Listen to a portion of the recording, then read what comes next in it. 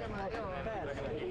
Szili Katalin pártelnök a helyi jelöltekkel közösen járt a Szombaton Vas megyét. Kőszegen a piacon is együtt várták a helyieket.